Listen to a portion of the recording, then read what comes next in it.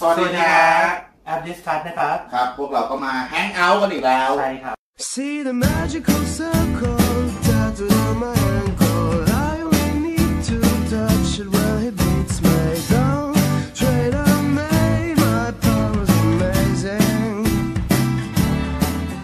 นะฮะ แต่ว่านี่เป็นอีกเทปหนึงนะเสื้อมันเป็นเรื่องของฟิล์มกันรอยนี่ค รับนี่นะฮะเพราะอะไรเพราะช่วงเนี้ย เราไปเดินตลาดจะเห็นฟิล์มกันรอยที่ใช่เป็นครับ แบบใหม่อืมใหม่ปะก็ใหม่นะ ครับ เพราะว่าช่วงก่อนก็จะฮิตเรื่องความอืมแข็งแกร่งของใช่ฟิล์มกันพวกฟิล์มกระจกแต่ช่วงนี้หลายแบรนด์เลยหันมาทำใช่ฟิล์มเป็น blue light cut ครับกรองแสง มีซีครับนะผมฮะเพื่อถนอมสายตา ก็เพราะว่าตอนเนี้ยคนมีปัญหาเรื่องสายตากันเยอะ อืม แล้วก็ห่วงเรื่องเด็กยุคใหม่ด้วย ที่ใช่ตอนนี้มาใช้พวกแท็บเล็ตกันมากขึ้นคือพ่อแม่เริ่มรู้แล้วชักจะใช้ยังปวดตา ใช่เด็กควรจะถนอมซะใช่คนะรับครับ แต่ว่าเราก็เกิดข้อสงสัยนะเราเห็นหลายแบรนด์ทำใช่ไหมฮะ มันมีผลจริงหรือเปล่าเราก็เลยสอบมีประโชน์ไหมถามไปทางบริษัทผู้ผลิตฟิล์มเจ้าเจ้าใหญ่นะใช่อันดับหนึ่งของประเทศไทยตอนนี้ครับก็โฟคือกัสโฟกัสนะคครัรับบผม สิ่งที่เขาตอบเรา นะเขาตอบไม่เขาไม่ตอบเราดีกว่าเขาเขาเขาตอบไปแบบนี้ดีมานะครับอยากรู้นะใช่ไหมใช่ประมาณอันหนึ่งคือผมดูแล้วผมเหมือนเหมือนเขาด่าเรานะอยากรู้ใช่ไหมอะไปศึกษาไปดูเราเองแล้วกันนะก็เป็นชุดทดสอบว่า blue light cut มันมีผลยังไงใช่ครับแล้วก็ขอขอบคุณด้วยนะครับ ขอบคุณโฟกัสนะฮะที่ให้ของพรีเมียมนะฮะครับเพราะว่าของของที่ระลึกครับกับแฟนก็ เพจเลยเพจบิวเอ้ยเอ่อแฟนเพจเรากำลังจะแตะแสนไลๆค์ใช่ใกล้แสนแล้วก็นะครับ เอาของมาแจกกันนะครับต้องขอขอบคุณสุดๆเลยนะฮะเนี่ยก็สำหรับพวก iPad iPad mini นะ เดี๋ยวเราเล่นเกมใช่ใช่ครับนะครับที่อยากแจกทั้งแสนคน มันเป็นไปไม่ได้ ก็นี่ก็เยอะแล้วขอบคุณมากใช่ นะครัฮะบรางวัลใหญ่จะเป็นผ้าเช็ดจอนะฮะไม่อันนี้ผมกะจะกิ๊กเลยห่วงขนาดนั้นน่ะห่วงเลยมีผ้าเช็ดจออยู่ฮะเป็นครับ ผ้าเช็ดจอแบบเอ็กซ์คลูซีฟ ชุดทดสอบนี้นะฮะ สิ่งที่เขาให้เราสิ่งที่เราสนใจพิเศษคือแบงค์ยี่สิบในนี้นะเดี๋ยวผมซีกซ้ายพี่ซีกขวาเอนะอไปซื้อกาแฟได้ชุดทดสอบเนี่ยก็เป็นเหมือนนี่ฮะเขาจะมีสวิตช์เปิดปิดนะครับ นี่ก็คือเป็นเปิดเสมือนจำลองแสงก็คือใช้ไฟสีฟ้านะฮะแสงมาดูสีม่วงอ๋อแสงสีม่วงอ้าวแล้วเป็นกองสีฟ้าหรือสีม่วงกันแน่เนี่ยเหมือนกันแหละก็มันทำให้เราเห็นนี่ครับ ปิดไฟนะ ปิดไฟปิดไฟนะฮะปิดไฟเพื่อไม่เห็นหน้าเราฮะนะครับกึ๊บนะฮะโอ เค ทีนี้เราก็จะเห็นแบงค์ยี่สิบแล้วนะฮะ อืมทุกแบงค์เนี่ย มันจะมีเป็นเขาเรียกใช่ว่าเขาทำให้รู้ว่าเป็นแบงค์แท้ นะฮะ อืม ก็อาจจะเป็นแบงค์ปลอมทำเหมือนก็ได้ แต่นั่นไม่ใช่ประเด็นนะครับ โฟกัสให้ชุดทดสอบนี่มาฮะ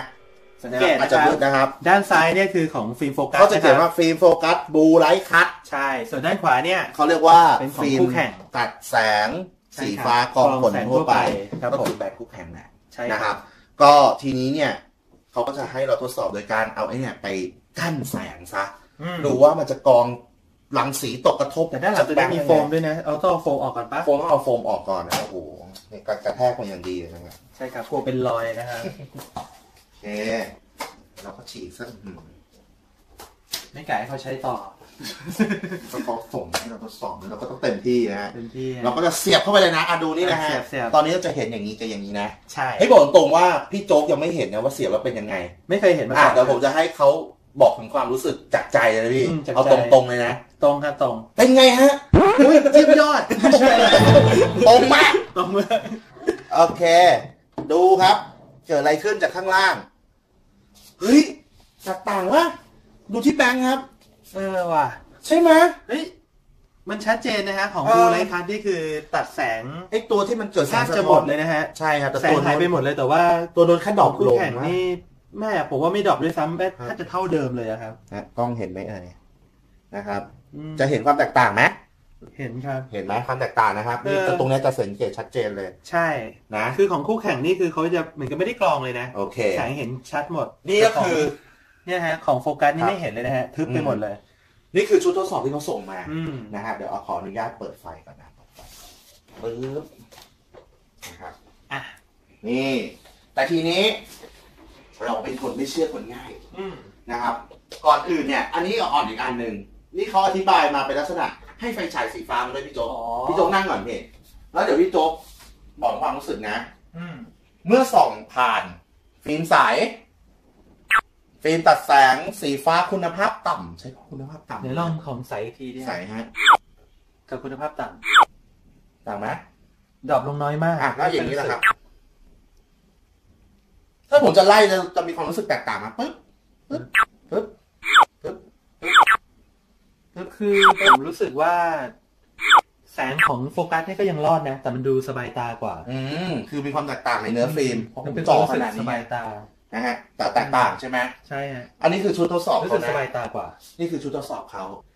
อะแต่ว่าสายตาผมอาจจะบอกอะไรไม่ได้นะครับ เพราะอืมฉะนั้นเนี่ยผมให้เอ่อผู้ชมเนี่ยสามารถได้เห็นกันชัดๆเลยดีกว่าว่ามันกรองแสงสีฟ้าได้จริงหรือเปล่า โดย โดยการฉายแสงไปที่กระดาษสีขาวนะฮะผ่านฟิล์มทั้งสามชนิดครับ ว่ามันจะแตกต่างกันไหม ใช่ จะได้เห็นผลชัดเจนเลยว่ามันกรองได้แค่ไหนนะใช่ ฮะเพราะว่าเมื่อกี้กล้องมันอาจจะเก็บ ใช่ เห็นไม่ชัดเลยนะครับแต่ยังเพราะไม่ฉะนั้นได้มาชชัมดกันกว่านะครับก็เดี๋ยวมาดูกันนะครับ เนี่ยครับ ปึ๊บอะลองส่องดูก่อนนะฮะ นี่เห็นไหมฮะ มันเป็นแสงสีฟ้านะครับ ครับ แล้วลองมาเป็นฟิล์มใสปกตินะครับจึ๊กโอ้โหแทบหายมันจะไม่ใช่ไม่เหมือนเดิมเลย อ่า แล้วดูของฟิล์มตัดแสงสีฟ้าคุณภาพต่ำนะครับ ต่างไหมพี่มันถอยกลับก็รู้สึกว่าไม่ต่างกันเลยนะฮะเนี่ยนิดนึงนิดนึงเอ้ยนิงดนึงนิดนึงมัน drop ลงอะมัน drop ลงเดี๋ยวมาลองดูของฟิล์มโฟกัสนะครับอื้อหือ ชัดเจนนะครับ ชัดเจนของโฟกัสนี่คือแสงดอกหลีกแสงไฟฉายหรือเปล่าเขาถามไม่ใช่มือผมนิ่งถ้าถอยกลับหนึ่ง step ๆถอยกลับหนึ่ง step ไม่ใช่ถอยอย่างนั้นถอยไปฟิล์มอันก่อนหน้านี้พี่อะอ๋อเอากลับมาใหม่เออต่างต่างชัดเจนนะฮะชัดเจนนะครับ ประมาณนี้เลยนี่คือการกรองแสงทิ้งใช่กรองแสงสีฟ้าทิ้งก็คือครับผมเขาบอกแสงสีฟ้าเนี่ยมีปัญหาก็คือว่าอืมเวลาเรารับชมมากๆเนี่ยอ๋อมันจะมีการเกาะอนุมูลอิสระขึ้นมาในตัวเราฮะครับก็เลยมันต้อง ใช้ฟิล์มตัวเนี้ยเพื่อต้านอนุมูลอิสระตัวนั้นอืมได้ข้อมูลมาด้วยใช่ครับนะฮะว่าฟิล์มโฟกัสช่วยอะไรได้บ้างนะครับ ก็คือเขาบอกนี้ว่าเรื่องของแสงสีฟ้านะครับ ข้อมูลที่เราได้มาคือคลื่นแสงสีฟ้าพลังงานสูงนี่คือผมจับที่อืมผมเอามาเลยนะ มีความยาวคลื่นมา4ถึง500 นาโนเมตร เป็นอันตรายต่อดวงตาของเราครับ อย่างคาดไม่ถึงอืมเป็นแสงที่กระตุ้นให้เกิดสารอนุมูลอิสระด้วย ใช่ครับนะฮะ ก็ซึ่งการใช้สมาร์ทโฟนและแท็บเล็ตต่อเนื่องเป็นเวลานาน บางคนเป็นเลยอืม ปวดตาตาแห้งตาพร่านะฮะนี่คือผลของแสงทั้งนั้นเลยนะก็นี่คือฟิล์มที่จะเข้ามาแก้ปัญหา